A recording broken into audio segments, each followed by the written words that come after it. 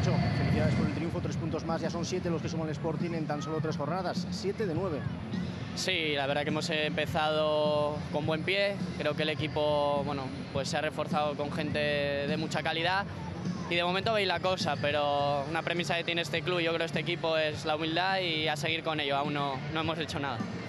Te irás también contento por el gol, no eres un goleador, pero bueno, siempre está bien marcar. Bueno, la verdad que meter un gol en primera división siempre es difícil y, y bueno, oye, la he tenido la suerte de, de meterlo, la verdad que gracias a, al delantero, que al final los delanteros suelen ser egoístas en ese espacio del campo, la ha dejado atrás y, y bueno, le ha metido, ¿no? La verdad contento por el gol y sobre todo por, por ganar. Además porque vienen ahora para el Sporting tres partidos complicados, Celta, Atlético Madrid, Barcelona. Sí, pero aquí hay que competir, ¿eh? aquí se, se, ha visto sobre todo estas primeras jornadas que, que nadie es más que nadie, aunque luego al final pues, pues por calidad te puedan ganar los equipos de arriba. Entonces a competir con la misma ilusión y las mismas ganas que siempre. Muchas gracias Nacho. Gracias.